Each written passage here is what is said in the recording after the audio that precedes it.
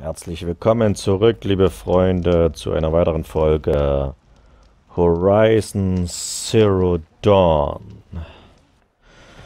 Und zwar habe ich wieder eine kleine Offline-Session eingelegt. Wir haben zum einen das Jagdgebiet abgeschlossen. Und zwar diese komische Schockprüfung. Betäube Brüllrücken und entferne die Unterbaubehälter. Es hat eine Weile gedauert. Erstmal habe ich natürlich eine, die Feuerrüstung angezogen, weil ich hauptsächlich gegen den Feuerbrüllrücken gekämpft habe. Dann ist mir aufgefallen, dass über diesen Unterbaubehälter noch eine extra Platte drauf war. Also einmal geschockt, dann habe ich die Platte abgeschossen, dann ist er wieder aufgewacht, danach habe ich den wieder geschockt und dann lagen die drei Behälter relativ frei da und dann konnte ich erst drauf schießen und dann hat es auch geklappt. Es hat natürlich eine Weile gedauert, also vier, fünf Anläufe habe ich bestimmt wieder verbrutzelt. Dann haben wir natürlich wieder mal das Inventar aufgefüllt. Ne, wir haben wieder fleißig Lohn gefarmt. Ich habe auch noch ein kleines bisschen ein paar Fische gejagt. Da konnte ich auch noch zwei Beutel upgraden. Und dann sind wir zurückgereist nach Meridian, um, um uns in den Sonnenpalast zu begeben. Und weitere Informationen zu erhalten. Also auf zum Sonnenpalast. Und dann werden wir mal schauen, was uns da erwartet. Gehen wir zum Sonnenkönig Avat. Ich mische mich in politische Dinge. Und dann treffen wir wahrscheinlich wieder unseren Freund wieder. Den schmierigen Ehrend. Aber jetzt reißt er sich ja bestimmt zusammen nachdem seine Schwester ihn kurz vor ihrem Tod ins Gebet genommen hat. Und er wird jetzt der Held. Was wird uns der König mitteilen? Mein Bote wird die Neuigkeiten im Anrecht verbreiten. Wenn noch irgendetwas für Ihre Trauerfeier gebraucht wird, sagt es einfach. Dafür ist später noch genug Zeit. Eloy, ja, das bin ich. Hallo. Schön, dass du da bist. Das ist so schrecklich mit Ersa. Dass sie schließlich doch tot ist, erscheint grausam. Sie würde hier keine Zeit verschwenden. Sie würde Derwal suchen. Sie sagte, er sprach von Rauch, der die Sonne verdunkelt. Sag ihnen, was du gefunden hast. Ein Brief. Darin ging es um eine Lieferung Lohe an ein Lagerhaus hier. Aber der Empfänger war nicht der Wahl sondern ein Elon Schmied. Sagt dir der Name was? Hm, kommt mir bekannt vor. Ja, ein Hausbesitzer. Die Ossaram haben in der ganzen Stadt Häuser gekauft, eins davon unter diesem Namen. Mal sehen, es steht am Rand des Berges, nahe beim Tempel. Es war mal ein Laden, der auch als Lager nutzbar ist. Wenn Derwal es unter falschem Namen gekauft hat, könnte er jetzt dort sein. Ich rufe meine Männer. Wir treffen uns dort. Erend, warte. Denk dran, niemand hasst derweil mehr als dein eigener Stamm. Die Clane würden einiges für ihn geben. Er soll leben? Damit du um ihn falschen kannst? Das kann nicht dein Ernst sein. Für die Sicherheit müssen wir Frieden halten. Wenn sich die Gelegenheit ergibt, nimm ihn gefangen.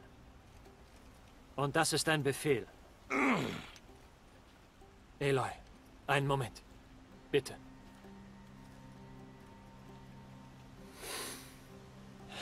Als wir sprachen, sagte Erend mir nichts über die Details von Ersas Tod.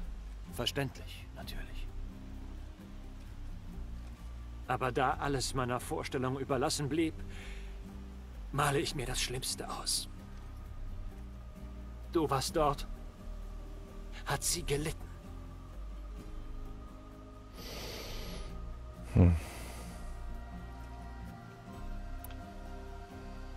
Sie dachte nicht an ihre Schmerzen.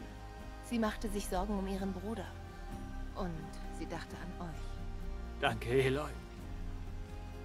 Es tut gut zu wissen, dass sie ebenso sehr an mich dachte wie ich an sie. Finde Derval und bring ihn zu mir. Er wird für sein Verbrechen büßen. Ich glaube, wir wählen jetzt immer Herz.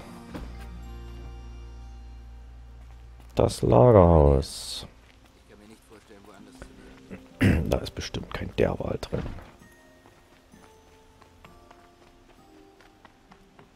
Dann werden wir mal sehen, ob wir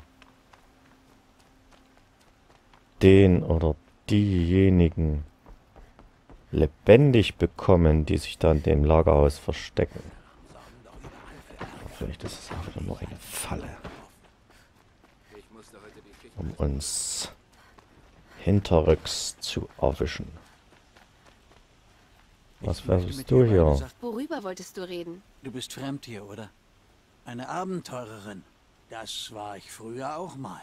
Ich gebe zu, ich vermisse die betörenden Farben der Wildnis. Ich frage mich, ob du zufällig eine ganz bestimmte Blume gesehen Ja, das mit den Blumen haben wir schon mal. Habe ich schon mal. Ah, falschen wir uns. Ähm, 10 Modell 1 haben wir. Davon haben wir nur 5 und davon haben wir 10. Also 1 und 3 können wir kaufen. Das machen wir doch mal. Zack. Und zack. Und jetzt sind wir gespannt, was da für ein Mist drin ist. Da gucken wir mal nach. 1000 Scherben, 40 Abriss, 49 ja. Und Motzkisten. Und hier nur Motz, doch da oben auch wieder. Okay, und jetzt... Äh, warum eine Kiste, die eine zufällige Waffen- oder Outfit-Modifikation enthält? Ja, klar. Oh, jetzt sehe ich was. Okay. Ja, wieso ging denn das vorher nicht? Na gut, aber nicht die Welt, was da drin ist. Da kriegt er gleich wieder. Da kriegt er gleich alles wieder. Nein, ich will nur handeln. Verkaufen. What's? Kriegst du alles gleich wieder, Junge. Ah ja, hier, 10. 10, 10. Das mit der Handhabung ist auch blöd. Später kriegt man bestimmt... Na, was heißt später? Ach, für 16 ist auch zu wenig. So. Aber grüne waren diesmal keine dabei. Ja, doch, da hinten. Es kommen bestimmt noch größere. Ich freue mich. Hast du einen Augenblick, Fremde? Mods. So, weiter geht's. Was willst du hier noch? Bist du... Rohstoffe. Ja, wenn ich da natürlich auch... Ne, die Linsen und Herzen habe ich alle. Ne, das habe ich alles. Das tut mir leid, da brauche ich nichts. Ah, weiter. Aber Echohüssen müssen wir noch kaufen. Na, hier rein geht's. Habe ich Brativin Khan Padish. Ne, draußen ist es. Ist klar. Und Sonnenhabicht In der Loge ist es nicht. Da gucken wir uns hier draußen mal um. Da.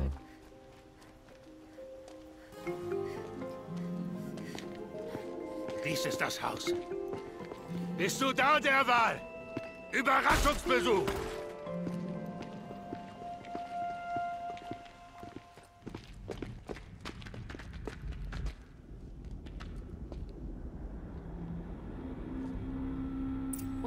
Eine Überraschung für uns. Ist es eine Bombe? Sieht nicht besonders groß aus. Groß genug, um uns zu töten. Stimmt. Ich halte meinen Mund. Lohe? Sie muss da oben irgendwo auslaufen.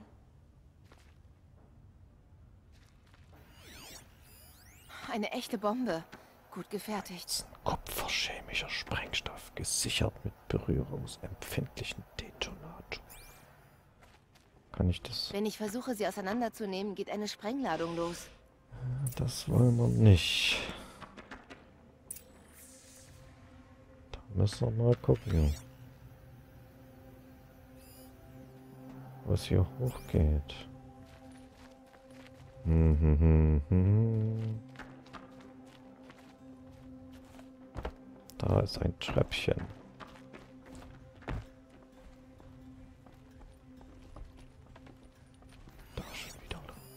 Wenn diese Bombe hochgeht, wird diese Lohe ein Das ist Feuersturm viel Lohe. Wenn die Bombe unten hochgeht, passiert, was der Wal gesagt hat. Nicht jetzt. Rauch verdunkelt die Sonne. Ach so, die das ist Stadt jetzt steht in. Flammen. Wir müssen das unbedingt verhindern. Reden mal. Also, äh, ge- geht das Ja. Ding gleich hoch? Ja, das geht gleich hoch. Da.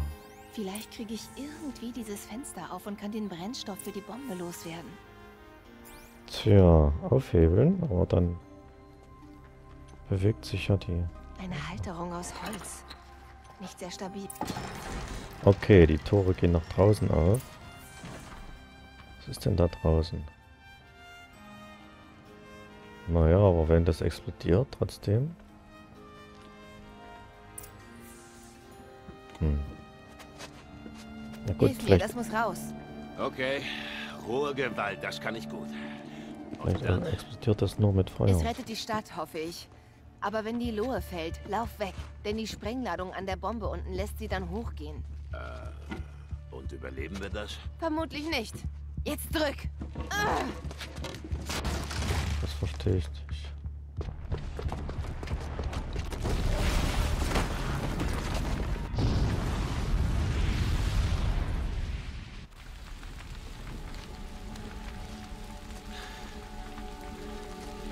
Geschafft.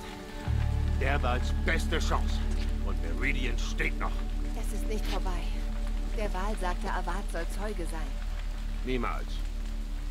Dazu müsste er in den Palast eindringen. Und der wird sehr gut bewacht. Geh zurück, nur zur Sicherheit. Ich sehe mich hier mal um. Vielleicht haben sie etwas zurückgelassen, außer der Bombe.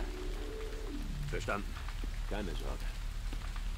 Wenn er in den Palast will, ist er erledigt.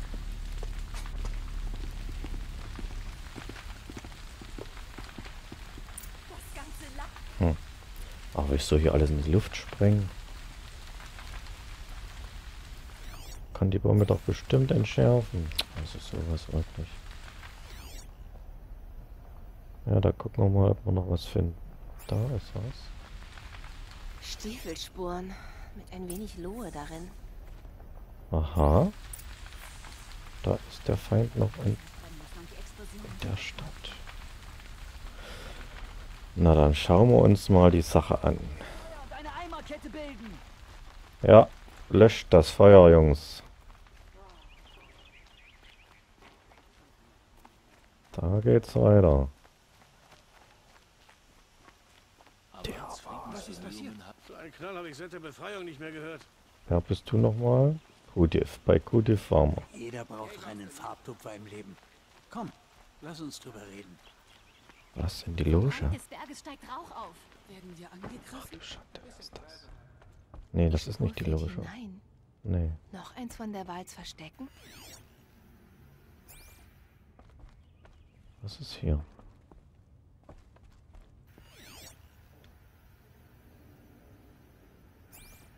Hm.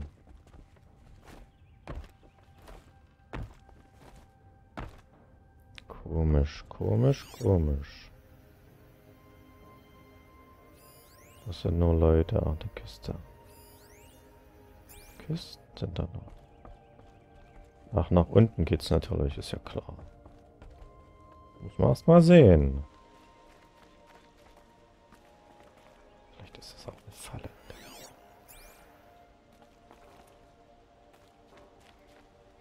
Oh, hier muss der Wal den Zünder zusammengebaut haben. Oh, oh nein. Er hat die Wand durchbrochen. Folge der Wahl in den Palast. Da ist der Da ist der. Der Wal hat einen Weg in den Palast gefunden. Gibt es hier noch Spuren? Ja, hier muss es doch noch Spuren geben, oder?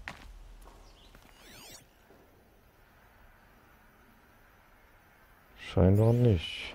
Hm. Na, dann gehen wir mal hier mal lang. Oder nach oben. Oben.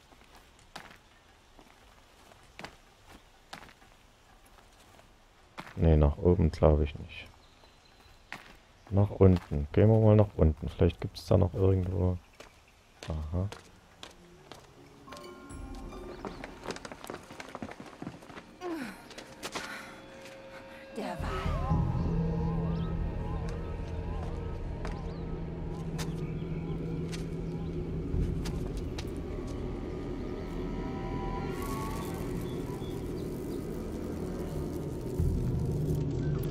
Sie mal schnell. Da geht's rüber.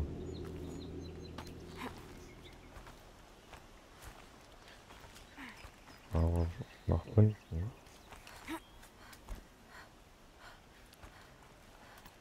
Und jetzt weiter. Da muss ich echt nach unten. Und dann rüber, ja, das wird sein. Okay.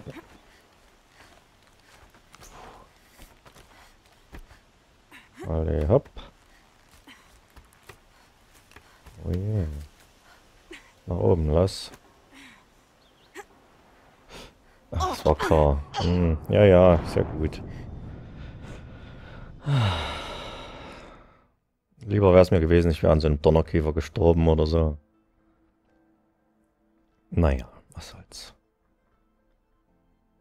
Muss man noch ein Stückchen auf dem Balken balancieren. Wo setzt er mich denn wieder ein? Okay, hier oben. Also nochmal. Das haben wir schon gesehen, das können wir überspringen. Hopp. Na. Halt ich. Puh, ich habe schon gedacht wieder. Jetzt bin ich wieder dahin, aber... So, jetzt lauf noch ein, ein Stück und springe. Äh, Sage mal! Was ist denn das für ein Mist? Also wirklich, manches ist... Manches bei dem Spiel ist echt komisch. An allen anderen Stellen, da kannst du gar nicht groß anders springen oder so. Das macht er dann alles von alleine, mehr oder weniger. Aber... Aber hier... So komisch. Also wirklich total... Nee, du musst nach unten. Total komisch. Und jetzt musst du nach drüben. Hallo. Okay, und da springt sie auch noch akrobatisch, als wenn es hier einen Preis zu gewinnen gibt. So, was soll ich hier machen?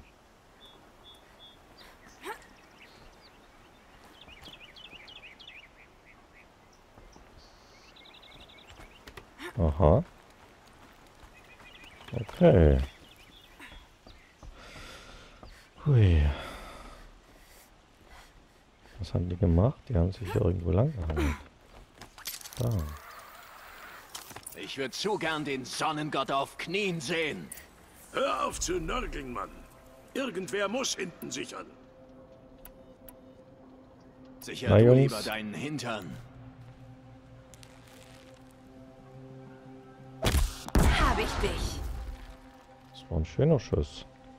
Wir gucken nochmal in die Tutorials rein. Die liegen gerade so schön da. Die Jungs. Aber ich glaube, das ist alles mit Maschinen, ne? Ja, ist alles mit Maschinen.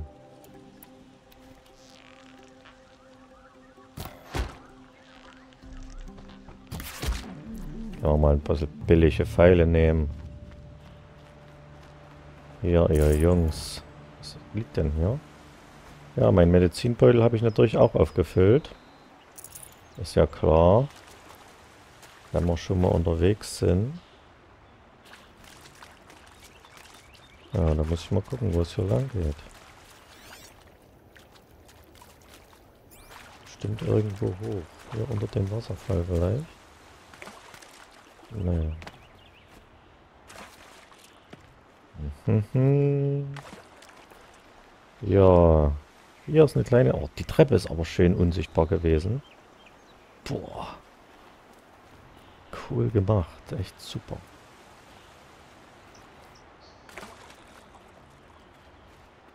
Der Wahl.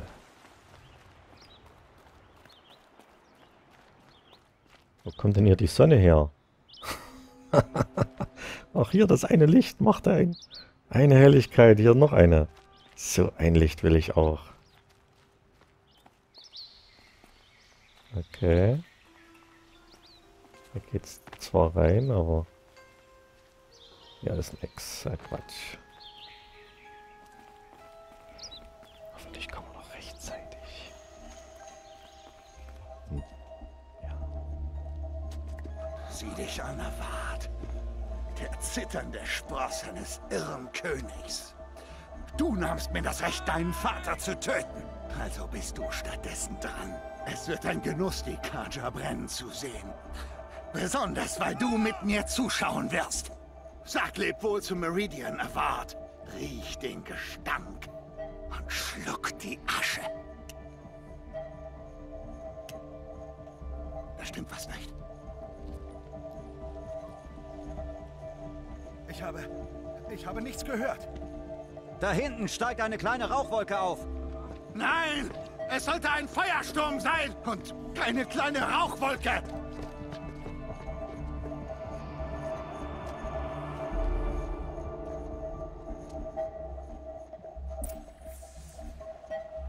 Tja.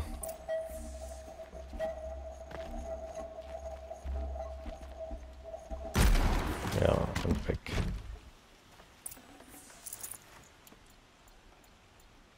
Da haben wir natürlich die Bombe entschärft. Was ist los mit Sonnenkönig?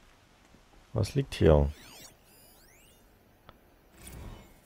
Die Sonnenkönige. Eine Aufzeichnung auf sonnengebleichtem Pergament. Die Glyphen sind mit Gold verziert.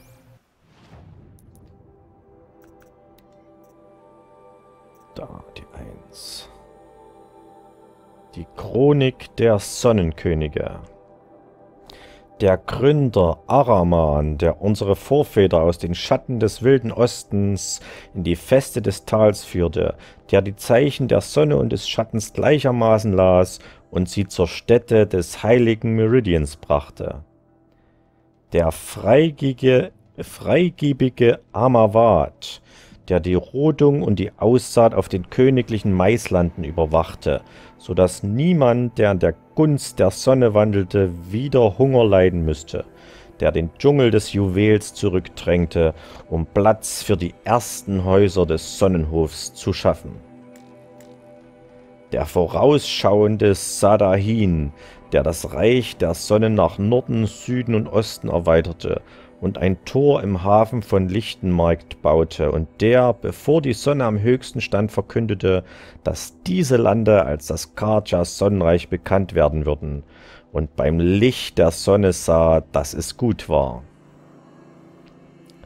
Der großzügige Juvadan, der die Metallmärkte mit der Beute aus seinen eigenen Tramplerjagden versorgte und der den Handel mit dem Norden und dem Süden erlaubte und Fremde sogar die Zahlglyphen erlernen ließ, so dass sie sich auf mehr verstanden als auf einfache Tauschgeschäfte.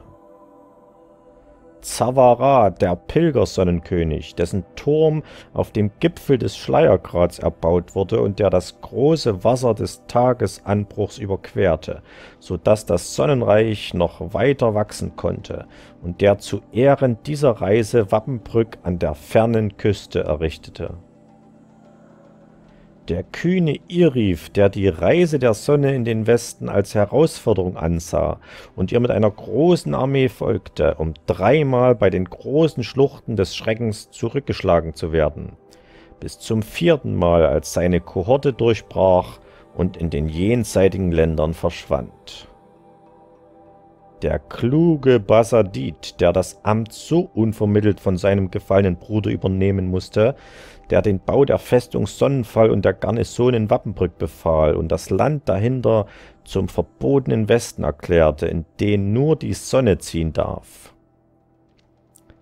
Kuvadin, der Rückkehrer, der den wilden Osten zivilisieren wollte und nach vielen Anstrengungen erklärte, dass dieser den Ansprüchen des Volkes der Sonne nicht länger genüge und der die großen Türme und Mauern bauen ließ, um dieses wilde Land aus ihrem Schutz heraus zu beobachten.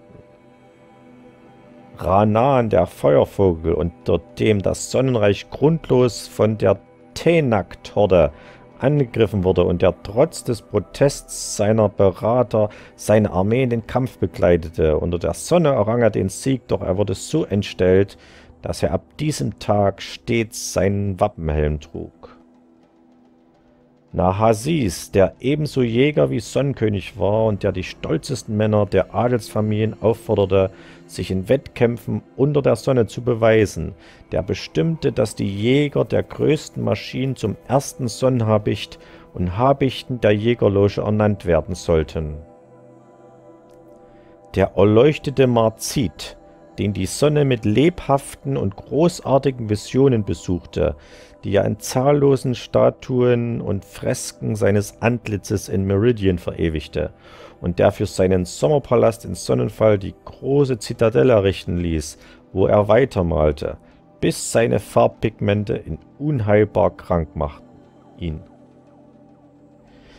Hivas, der ältere Bruder Marzids, der jede Familie mit männlichen Nachkommen dazu verpflichtete, ihre Söhne in den Dienst der damals geschwächten Armee des Sonnenreichs zu stellen, und der die Kunsthandwerker anwies, sich von ihren Kunstwerken abzuwenden, um die Soldaten der Sonne mit den besten Rüstungen, Hellebarden und Bögen auszustatten. Jiran, der in seinen frühen Jahren ein starker Sonnenkönig war und das Sonnenreich gegenüber gegen Übergriffe anderer Stämme und die Störung der Maschinen verteidigte, den jedoch Verwirrtheit heimsuchte und er im Namen der Sonne großes Blutvergießen befahl, so dass uns eine Zeit der Dämmerung drohte. Avad der Befreier. Oh, ich habe gerade gesehen, wir haben ja eine Fertigkeit zu vergeben. Ja. Ausweichrolle. Sprint ist langsam. Ja. Drei Pfeile. Ja. Wir machen. Ja, wir machen das hier mal. Im Grunde brauchen wir aber von den ganzen, die jetzt noch offen sind, eigentlich pff, gar keins mehr. Wenn jetzt nicht irgendwas ganz extraorbitantes kommt, wo wir es zwingend brauchen. Was ist denn jetzt? Lag nicht der König hier irgendwo? Das ist Avad und mit dem kann ich nichts machen. Ja? Tut's weh, mein Junge, auch komm. Und ist dann der... Er rennt liegt hier auch. Ich, da hat er gerade so große Töne gespuckt. Und nur? Hm.